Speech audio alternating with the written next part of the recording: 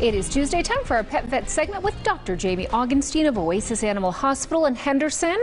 Dr. Augenstein, thanks so much. We've made it Pet Week here on Channel 8. That means we're focused on all things animals this week, and we'd like to know some important tips that you'd like to share for people adopting a new pet for the very first time, including how to go about introducing them to other pet members in the household as well. That's actually a good question. So one of the things we have the most difficulty with is introducing new cats into a home.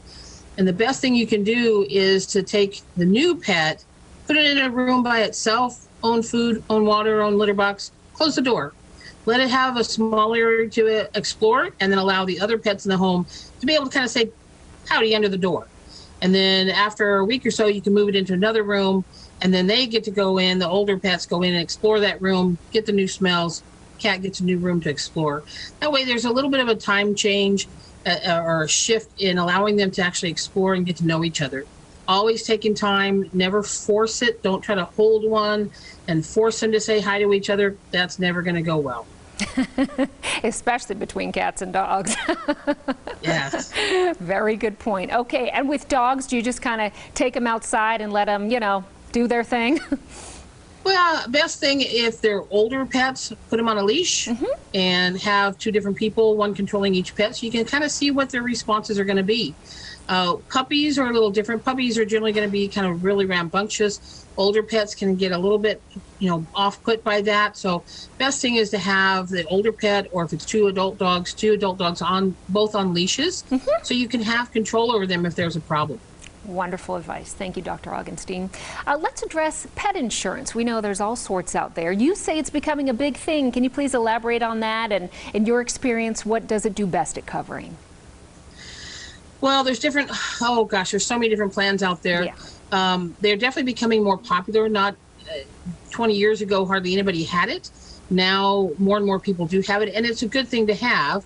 If anything happens to your pet, you'll be glad you had it uh, it doesn't cover everything. Some of them do have caps on what they cover, but a lot of them you can get these plans that will cover routine maintenance, vaccines, spaying, neutering, dentals.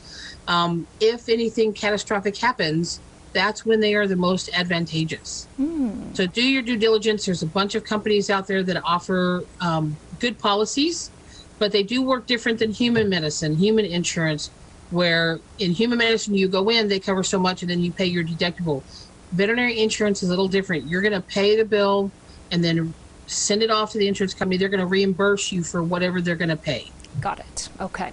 And along those lines, Dr. Augenstein, what is an emergency with your pet? What can wait and what needs to be seen immediately? If you've got an animal who is in respiratory distress, that is an emergency. That is a true emergency, needs to be seen right away. If you've got a pet that, uh, if you look at their mucous membrane, so look at the, the gums, if they're white or blue, you have a medical emergency. You need to get them seen right away.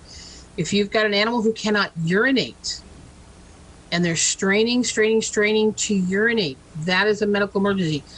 Uh, we call those block toms. If it's a male cat, that's the most common it happens to. Those are true medical emergencies. And if you've got a, a dog, normally large breed dogs, and their abdomen is distended and tight and could have what we call a bloat, that is also a true medical emergency, needs to be seen immediately. Mm-hmm. Our Weimaraner had that years back, and luckily we got her in quick enough, so she was okay. Yeah. All right. Thank you so much for your time, Dr. Augenstein. We look forward to seeing you in about two weeks. In the meantime, be safe and be well. Thank you. Thank you.